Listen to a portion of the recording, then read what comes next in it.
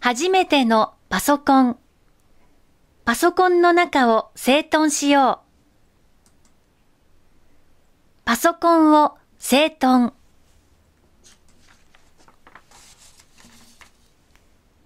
フォルダーを使って整頓しよう。フォルダーとは何でしょう？ファイルを整頓、収納、分類するための箱のことです。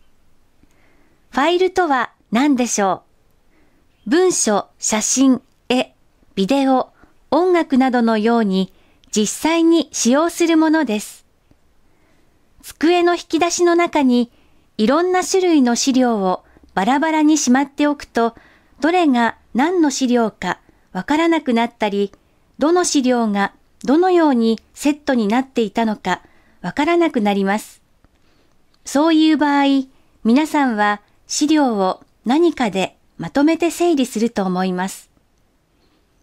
パソコンでは資料のことをファイル、その資料をわかりやすくまとめる箱のことをフォルダーと言います。そのため、フォルダーはファイルの種類別に分類した方がファイルを取り出すときにわかりやすいです。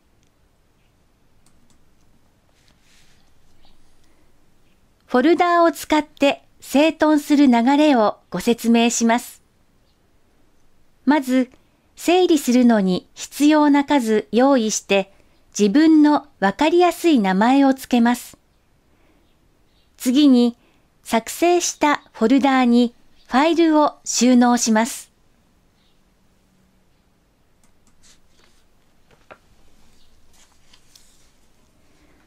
フォルダーの中にさらにフォルダーを作成します。例えば、ピクチャフォルダーの中に愛犬、絵、自然、同窓会のフォルダーを作成します。次に、自然フォルダーの中に花、山のフォルダーを作成します。このように、フォルダーの中にさらにフォルダーを作ることを階層構造、階層管理と言います。ファイルやフォルダーはおすすめのフォルダーに入れておこう。Windows のパソコンにはドキュメント、ピクチャ、ミュージックなどおすすめのフォルダーが用意されています。基本的にファイルやフォルダーはこのおすすめのフォルダーの中で管理をします。よく使用するおすすめのフォルダーはスタートメニューの中にあります。ドキュメントはワードやメモ帳で作成したような文書、書類を収納します。ピクチャは写真や作成した絵を収納します。ミュージックは音楽ファイルを収納します。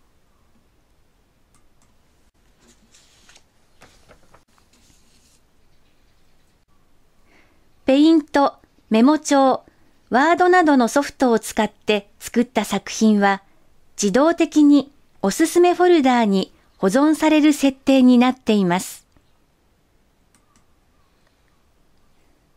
フォルダーの作成方法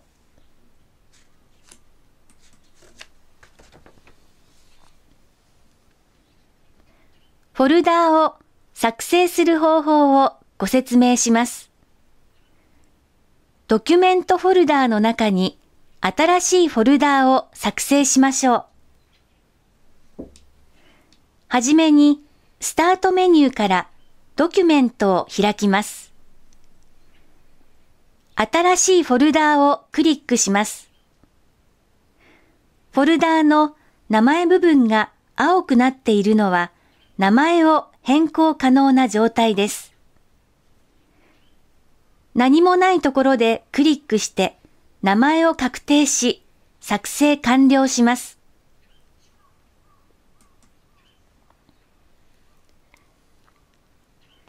デスクトップ上にフォルダーを作成しましょう。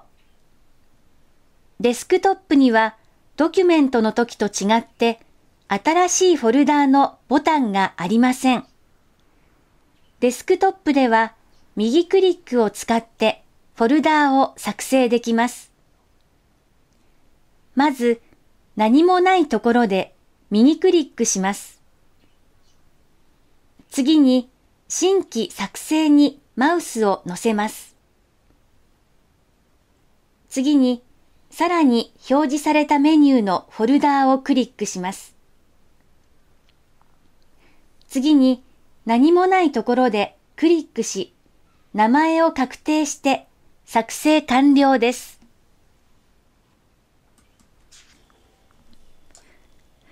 フォルダーを開く方法。フォルダーを開く方法をご説明します。今回の例では、ピクチャフォルダー内の自然フォルダーにある花フォルダーを開き、チューリップの写真を開いてみます。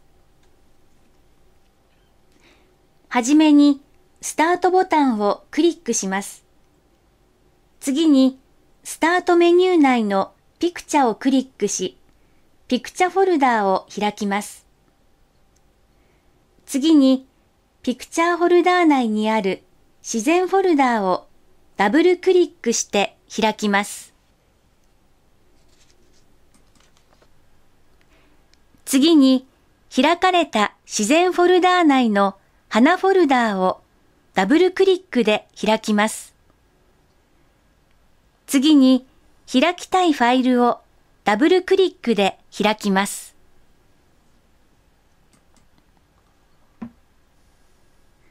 すると、画面全体にファイルを開くことができます。デスクトップに置いたフォルダを開くときも、ダブルクリックで開きます。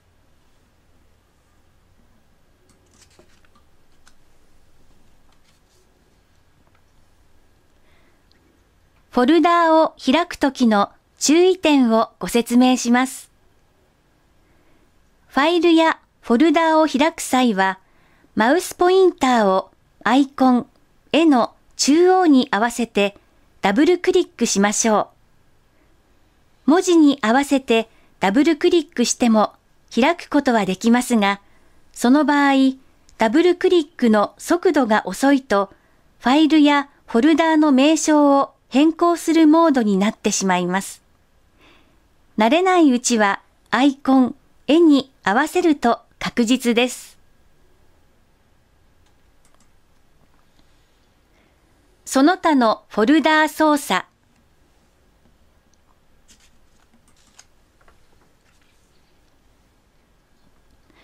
フォルダーウィンドウ、エクスプローラーの操作についてご説明します。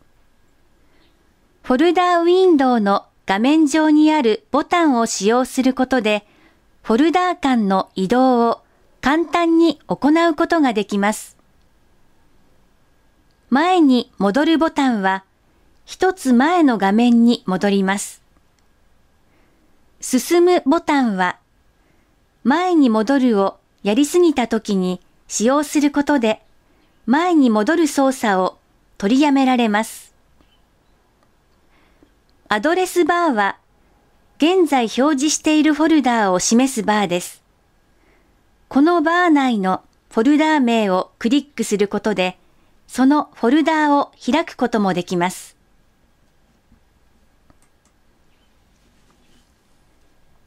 各クリックの違いをご説明します。クリックは選択、決定の役割をします。ダブルクリックは決定の役割をします。右クリックは操作の一覧表示の役割をします。クリックの決定とダブルクリックの決定にはあまり違いはありません。状況に応じてクリックかダブルクリックかが決められているため、基本的にはクリックをし、それで反応がなければダブルクリックしましょう。ちなみに今回のようにファイルやフォルダーを開く場合は、ダブルクリックを使用します。右クリックはその場で行うことができる操作の一覧を表示します。そのため、右クリックをする場所によって操作の一覧の内容が変わります。